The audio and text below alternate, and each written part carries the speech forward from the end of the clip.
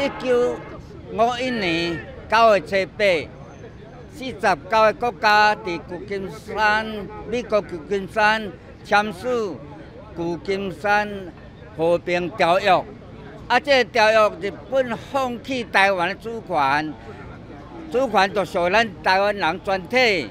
所以九月七八都是台湾人的独立纪念日。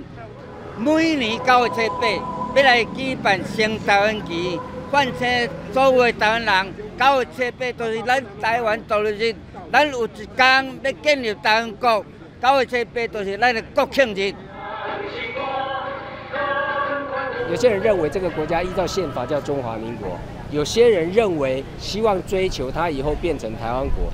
但是虽然某种程度的差别，但是根本问题是有别于中华人民共和国，这个是最主要的关键。